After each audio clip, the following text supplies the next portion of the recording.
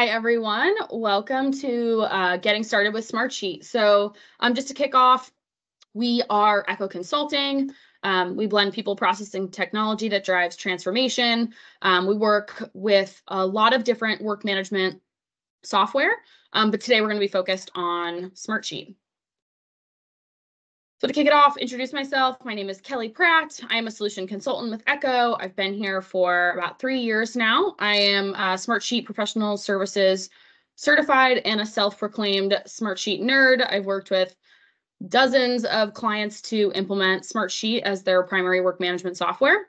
So I look forward to jumping into this content with you all today. All right, so the basics. Smartsheet is comprised of three primary components sheets, reports, and dashboards. Um, these are really called assets within Smartsheet. So we'll start with Sheets. Sheets is really the foundation of all the work that you do in Smartsheet. it's really the source data. It's where your data lives. Um, it's very, in terms of um, a you know what the sheet looks like and how it functions. It's similar to Excel, but has much more robust capabilities. Um, but we do see a lot of clients that go from managing projects or managing other processes within Excel um, really transition nicely into Smartsheet just because of that kind of spreadsheet look and feel and functionality.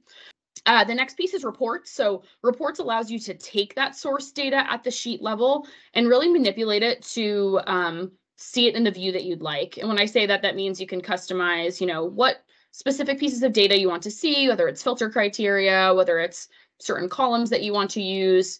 Um, and then it also allows you to do some summarization of that data as well. Um, reports are bidirectional, so the data goes both ways, and we'll get into that a little bit more. And then the, um, the final component is dashboard. So dashboards really provide that visual representation of your data. Um, it allows you to provide kind of like a landing page and a place to like summarize and see real-time data um, of what's going on across, whether it's your projects or other kind of task lists or work lists that you might be using Smartsheet to manage.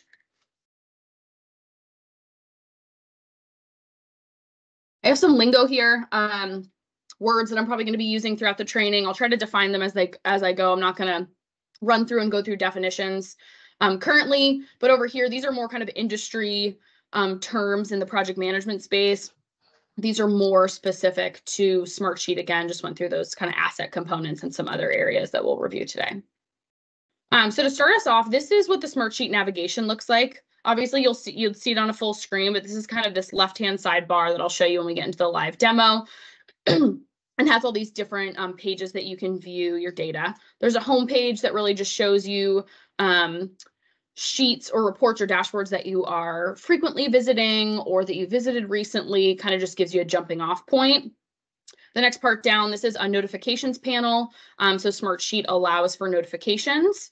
Um, they do send through email, but you also have a notifications panel within Smartsheet itself to see any notifications that um, you are being sent.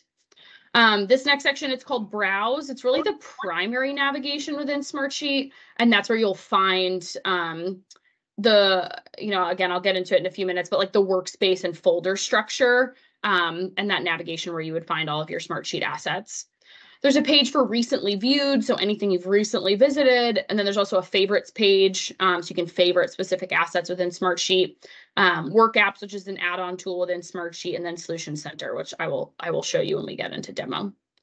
So every sheet um, has multiple views. So I mentioned before that it is similar in look and feel to Excel in some ways um, in terms of the grid view. So that's the primary view and the view that you'll see when you first open up a sheet. Um, but within that sheet, it also allows you to look at a Gantt view. So it kind of shows you your Gantt chart with your sheet data side by side. Um, there's also a card or you call it a Kanban view which allows you to see it like grouped by specific potentially statuses or other pieces of information. Um, and then there's also a calendar view. Um, I would say this is the least utilized view in Smartsheet, but it does provide you a visual view within a monthly calendar if you're interested. Smartsheet is working on rolling out some more um, modern kind of timeline views, I think, to support the Gantt and calendar view, but this is what's available as of today.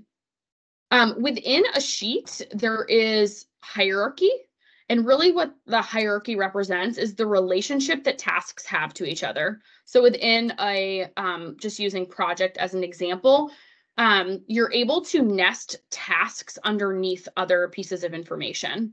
Um, so you can see here, this example is there's a project name, and then there's the phase of planning, and then the tasks that are within the planning phase are kind of nested underneath. Um, what that allows uh, allows Smartsheet to do is roll up the data so that you can see, okay, for the planning phase with all the activities that I need to accomplish, it rolls up the start and end date, for example. It also calculates a percentage complete um, based on the data below. Um, it does allow you to nest pretty far down. I don't know, um, maybe one of my teammates might know if there's a maximum on the um, number of levels you can indent. I think it's up to seven. Um, I could be challenged on that though, but it is quite a bit, so you can go pretty deep with it. Um, within a sheet, there's also, of course, columns, right? So every sheet has what's called a primary column. Um, the primary column is mandatory and cannot be deleted from the sheet, mm-hmm. and it can only be um, what's referred to as a text number column. So I can talk through the different column types as well. And that's the column where you can create that hierarchy. Um, so it's most commonly used for the main descriptor. Again, if we're just going along with um, the project example, um, that's where you're going to put like your task name, your project name, your phase names, your task names. Um, really, even without a project example, if you have a task list or even um, like a marketing requests sheet or something along those lines, the primary column is going to be the descriptor column of what is that specific activity that you need to perform.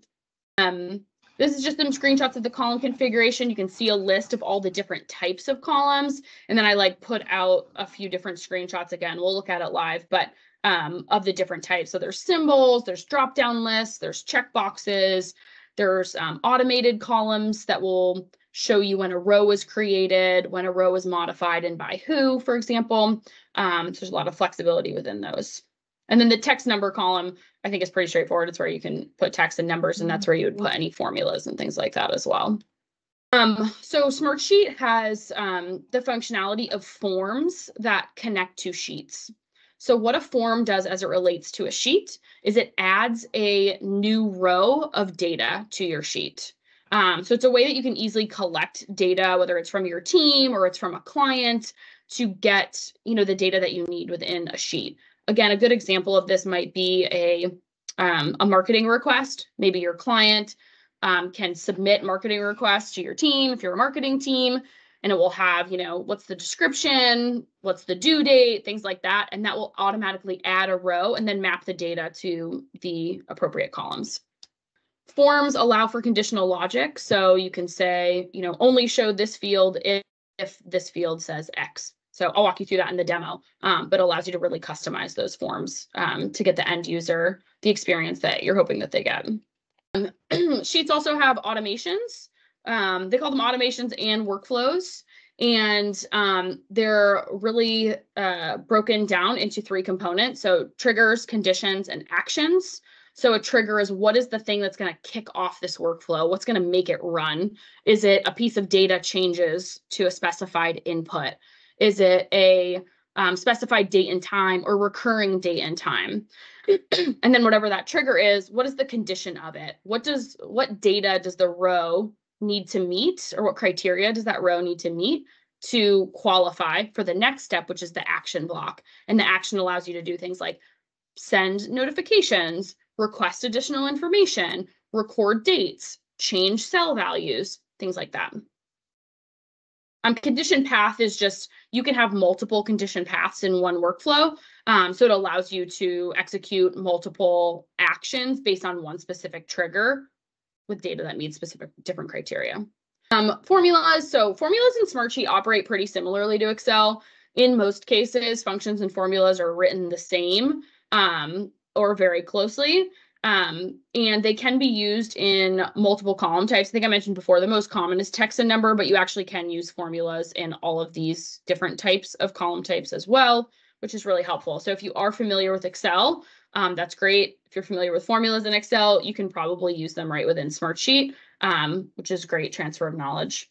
Um, there is also a really new feature that is coming out, which is going to allow um, it's like a, an AI feature within Smartsheet, which is going to generate formulas for you. So you're going to be able to like put in a description of what you're hoping for it to do, and then it will generate the formula for you, which can be really useful. Go ahead. Yeah, one quick question. Uh, first of all, nice to, to meet you all. Yeah, you Uh, with this newest feature that's going to be released soon, is it going to be available for everybody that has the Smartsheet license or just specific plans? That's a really good question. I don't know the answer off the top of my head, but we can definitely look into that and follow up with you directly on it. Um, if anyone on my team has insight, feel free to jump in and chat. Um, but it's a good question. I'll, I believe it's going to be available to everybody. I'll see if I can find a little bit on that while we're in the webinar. And if I don't find the answer by the end of this, um, we can definitely follow up directly for sure. Great question. Okay, thank you. Yeah, I am in the um like early adopter program, um, which is pretty easy to sign up for. I don't know if there's restrictions on who can who can um sign up for that, but that's how I have access to it now. Um, and it it does work pretty well. so- What was that? I don't see that on my end, so I was wondering if maybe I'm on a different plan. Yeah, no, I think it's just because I'm in the early adopter programs. That's why I think it is going to be available for everyone. But in the early adopter, they release kind of the new features from a beta perspective um, out to any of those who sign up. So feel free to do a quick Google search on early adopter program Smartsheet. I'm pretty sure anyone can apply. Um, so check it out, and you can you can submit your email and see if they'll grant you access for that. Thank you. Um, okay, report. So we talked about this at um, the beginning, one of the primary kind of assets within Smartsheet. So reports really allow you to compile information across multiple sheets. Um, we also use reports for just one sheet as well. And it allows you to customize to only see the data that you want to see. So let's say your sheet has 10 columns, but for this particular report, you really only need to see four of them. The report allows you to just select those four columns. Um, it also allows you to filter the data based on specific criteria. Um, so if you only want to see tasks that are due in the next seven days, for example, you can do that. Um, you can also summarize data. So let's say um, we use, uh, we call it a CRAID log, it might be more commonly known as a RAID log. Let's say you have a RAID log um, and you have open risks, actions, issues, and decisions. A report will allow you to kind of group the data by those different categories and then summarize it so you can see how many are in um, in the sheet. So I can show you what that looks like in the demo as well. Um, I mentioned before, reports are bidirectional sheets.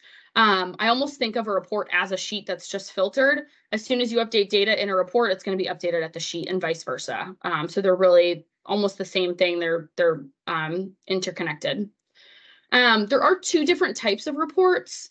The most um, common um, report is called a row report. So that's aggregating row data across multiple sheets. Um, the sheet summary report is only going to display summary data. So I'll get into this when we get into the demo as well. But at a sheet level, you can add what's called summary data um, that you can like summarize information within your sheet or just have specific project metadata. And you can also look at reports across sheet summaries as well. Um, something I wanted to call out is the differences between reports and sheet filters. So on a um, sheet itself, you can actually apply filters. Um, and then a report, of course, does the same thing, but then has more capabilities such as, you know, selecting the columns and grouping and summarizing. There are also differences between the capabilities of filters at a sheet level and a report level. Um, so for example, in a sheet, um, you can filter criteria either by all your conditions or only or meeting at least one condition. Whereas in a report, you can do any combination of like and or conditions. Um, so it really gives you more flexibility to show different sets of data in a report. Um, in a sheet filter, you can include parent rows and it still shows you the hierarchy. Um, in a report, there is no hierarchy. It's not going to show tasks where they're nested. Um, and it's going to include any rows that meet specified criteria. It's not going to include parent rows if it doesn't meet that criteria. So it's another kind of key differentiator between those. Sheet filters allow you to have you have shared filters where everybody who has access to the sheet can filter them, and then you can have your own personal ones. Um, reports are only customizable by license and admin users.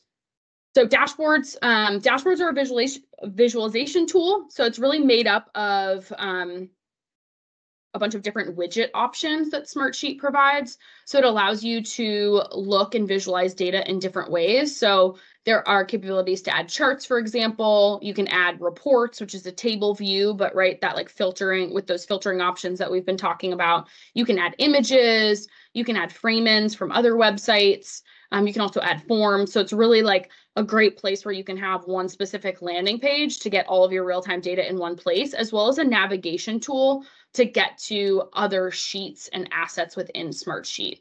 Um, so for example, for a project, we would have a project um, dashboard that has links to all of the different assets that a project would need to be managed, such as a project schedule and a RAID log um, and different reports that we might build based on that.